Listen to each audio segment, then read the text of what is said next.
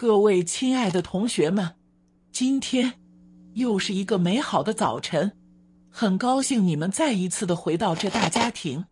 昨晚播报的规章制度，想必同学们都有好好的记录下来了吧？下面我将为你们更新最新的学校规章制度，请各位同学们务必遵守以下规定。如有任何的学生违反了规定呢，那。那后果可要自负哦！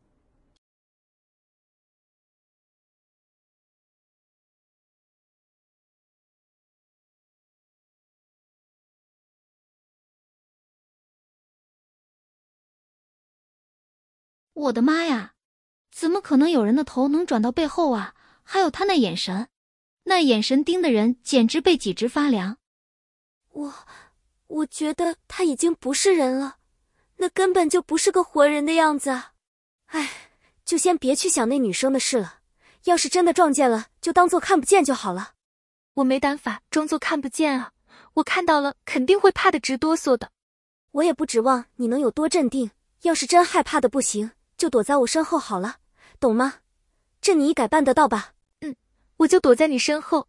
谢谢子轩，姐妹们，我看也该出发了吧？现在刚过八点。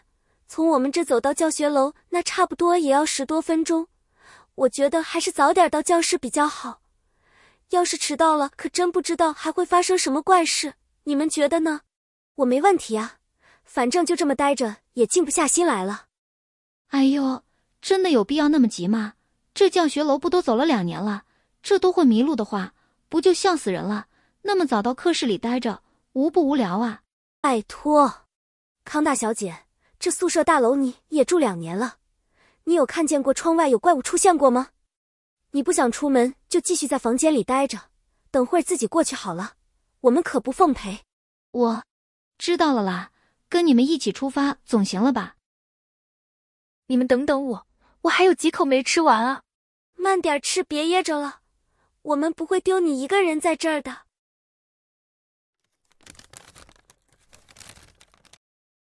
好了，我吃完了，不好意思啊，我们出发吧。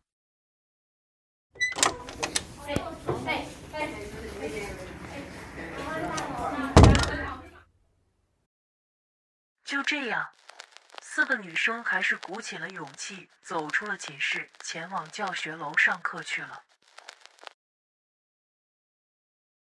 子轩，我好害怕啊！你，你看他们都像是遇见什么不好的事一样。没事的，你就走在我们中间就好了，不要去看他们。这没走出寝室还没察觉，看来其他寝室都遭遇了和我们一样的情况了。是啊，大家的神色都好慌张，好憔悴呀。吴，呃，子轩，你看外边怎么多了那么多戴黑色口罩的人呀？嘘，小点声，我们就这样假装聊天的走就好了。你们有注意到吗？那些戴黑口罩的人看起来都并不怎么的活跃，都是一脸的死气沉沉的跟在自己朋友的后面。哎，奇怪了，如果说他们也听到了那规则广播的话，不可能会不知道要躲避戴黑口罩的人才对啊？难道说不是每一间寝室都听得到广播？这点其实我也有想过的。不过我们换个角度去思考的话，如果我说如果呀。我们的寝室也有人开始戴黑口罩的话，我是没有办法去遵守那规则的。要我远离自己的姐妹，我办不到。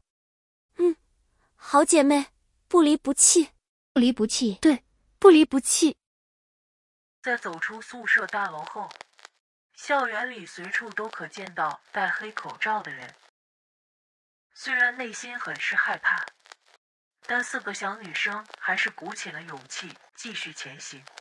可谁知道，当他们到了教学楼后，怪事还是发生了。哎，奇了怪了！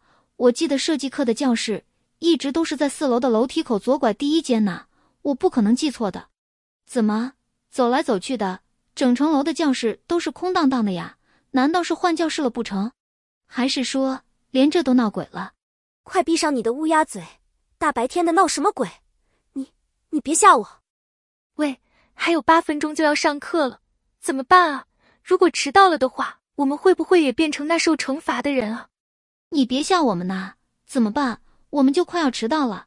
我我不想变成戴黑色口罩的人呐。我我说你们先都别急，早上的广播不是说了吗？如果找不到课室的话，闭上眼，静下心来向前走二十步，睁开眼后就可以找到课室了。对呀，我怎么给忘了呢？幸亏冰冰你记性好。这种鬼话你也相信呢？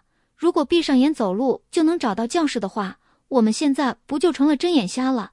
还有，这要是走二十步，都快走到走廊尽头了。对对对，你最牛！现在我们就跟冰冰一起闭眼走二十步，你爱跟跟，不爱跟就去跟那些戴黑口罩的混去。你说什么呢你？刚刚才说不离不弃，现在又让我去和那些恐怖的要命的黑口罩混，你还有没有点良心呢？你还好意思说？还好冰冰提醒我们广播有提到这一办法，你倒好，竟在那泼冷水。总而言之，我们现在只能尝试了。你句话跟还是不跟？跟跟跟，是我不好，我嘴欠，你们别丢下我不管呐。好了，子轩他知道错了了，就饶了他吧。其实规则里只说走二十步，也没说走大步还是小步啊。姐妹们，我提议，不如我们排成一排。由我走最前面，接着是文文、敏敏，而子轩最后，大家一起手搭着肩膀，然后小步的走。在闭上眼后呢，当听见我说走，大家就一起数一到二十步，走完后再睁开眼，明白了吗？明白了，明白了，嗯，明白了。好，准备，姐妹们，走，一、二。三、四，这闭着眼走路，好可怕啊！冰冰，你先安静，别说话。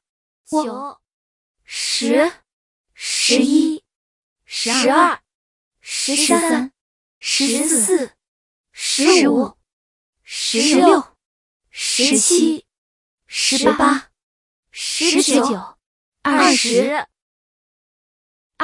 二二十了，我可以睁开眼了吗？天哪！这将士，这将士不就是设计课的将士吗？看来这规则真的是对的，太诡异了！你们还愣着干嘛？赶紧进去教室吧！现在不是震惊的时候。子轩说的对，我们赶紧进去吧。这刚一踏进教室里，整个气氛就和走廊外头截然不同。原本在走廊外呢，就像是在一个无人空间一样，静得怕人。可这教室里却是被坐得满满的，只剩下最前一排的座位是空着的。冰冰几人急忙找了前排最靠边的位子坐下，可这才刚一坐下呢，上课铃声也随之响起了。